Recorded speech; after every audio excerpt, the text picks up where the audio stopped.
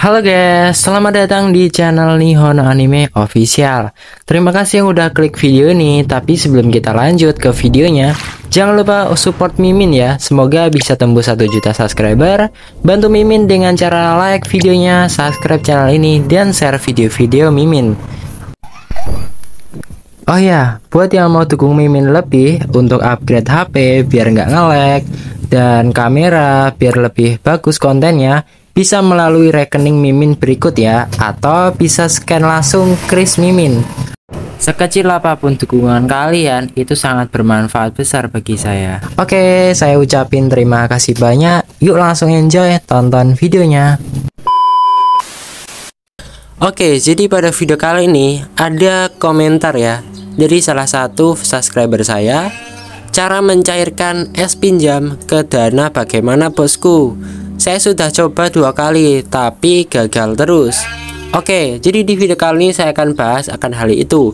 Bagaimana cara mencairkan ya es pinjam ke dana? Ya, seperti itu ya.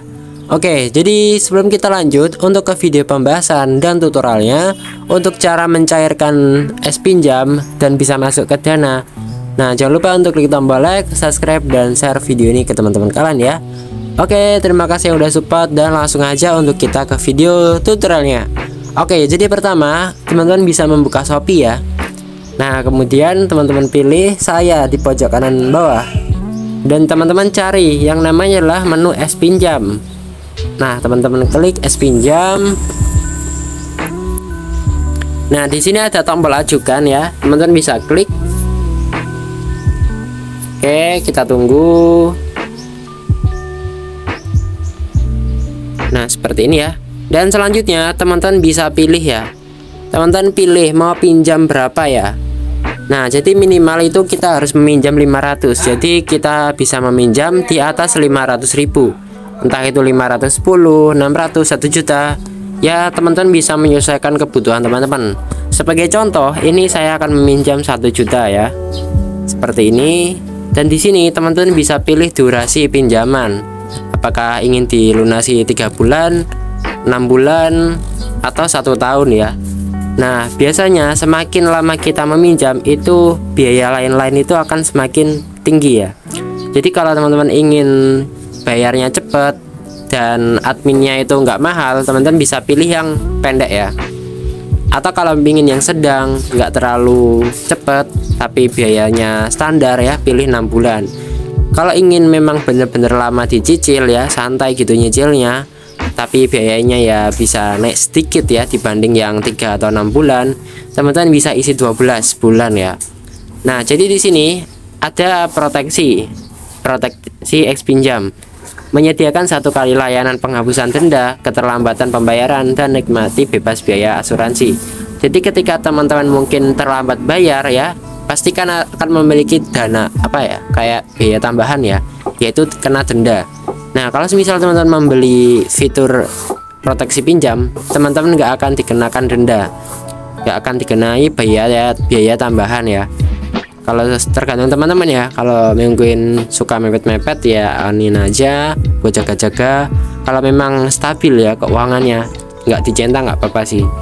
Nah selanjutnya karena kita ingin cairkan ke dana ya kita pilih dulu rekening bank kamu. Oke. Nah kita klik tambah rekening. Kita lihat dulu ada bank apa aja di sini. Nah jadi di sini kalau di sini tidak ada bank eh bank apa namanya? Dana ya tidak ada dana. Karena itu e-wallet ya bukan bank. Nah jadi untuk caranya itu ada triknya. Jadi teman-teman minimal harus punya rekening. Kalau teman-teman punya rekening BRI BCA atau BNI atau Bank Mandiri itu bisa digunakan ya sebagai pencari pencairan ya. Jadi kalau misal kita udah punya rekening ya, teman-teman bisa pilih rekening itu. Nah, untuk mengambil uangnya. Nah, kalau misal teman-teman nggak ingin ribet ya untuk bikin rekening, teman-teman bisa membuat rekening dengan Siabang ya. Jadi Siabang itu adalah salah satu rekening yang bekerja sama dengan Shopee ya. Nah, jadi itu syaratnya mudah, daftarnya online ya.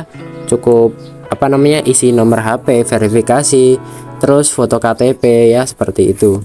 Nah, seperti kita bikin bank cuma online ya. Jadi lebih mudah, bisa pakai HP juga. Untuk aplikasinya bisa download dari Play Store. kalau teman-teman mungkin punya BRI ya bisa pilih aja nah seperti itu ya contoh di sini seakan-akan saya memilih Bank BRI nah udah tambahin nomornya dan seperti ini ya selanjutnya teman-teman bisa geser ke bawah. Di sini adalah informasi terkait uh, pinjaman kita. Ya saya pilih tiga bulan saja ya. Nah biar nggak terlalu lama. Nah seperti ini. Nah untuk jatuh tempo sekarang itu modelnya dari kita pinjam ya. Sekarang tanggal 11 ya besok ngembaliinnya tanggal 11 nah mantap ya.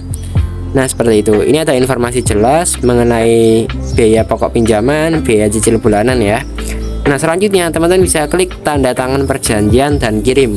Nah nanti teman-teman bisa isi pin es pinjam teman-teman.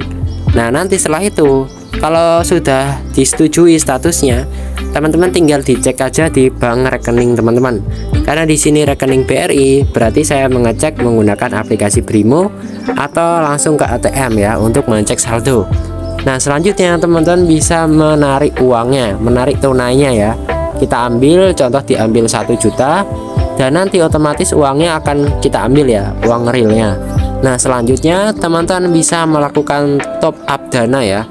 Nah top up dana tapi kalau misal teman-teman punya aplikasi Brimo itu malah lebih bagus ya. Karena di aplikasi Brimo itu kita bisa top up e-wallet terus ke dana kita. Jadi itu lebih efisien ya dibanding kita harus ngambil uang juga nah tapi nggak apa-apa ini juga sama ya kurang lebih prosesnya sama Nah, di sini teman-teman bisa klik isi saldo karena kita itu ingin isi saldo dana. Nah, teman-teman bisa pilih mungkin dari BRI atau Indomaret atau Alfamart ya. Kalau teman-teman mungkin suka pakai BRI, bisa seperti ini ya. Jadi nanti tinggal ditransfer aja nomor virtualnya. Nah, seperti itu. Kalau di Indomaret, nanti teman-teman isi aja uh, totalnya ya. Mau top up berapa saldonya. Nah, contoh satu juta, oke. Okay mungkin nggak bisa ya. Mungkin terlalu banyak. Kita isi 100 100 ribu ya. Nah seperti ini. Nah nanti ini tinggal dikunjukkan tunjukkan aja di kasirnya. Kalau Alfamart kurang lebih sama inputkan nominalnya. Terus kita tunjukkan ini kodenya kode pembayarannya ke kasir nah seperti itu ya untuk cara uh, menarik atau mencairkan uang es pinjam ke dana.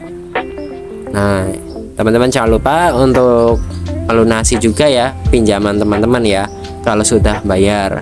Karena kalau kita mungkin sering telat itu bisa menyebabkan akun es pinjam kita dinonaktifkan. Jadi kita nggak bisa pakai lagi fitur es pinjam atau SP letter seperti itu ya Oke terima kasih yang udah support channel ini.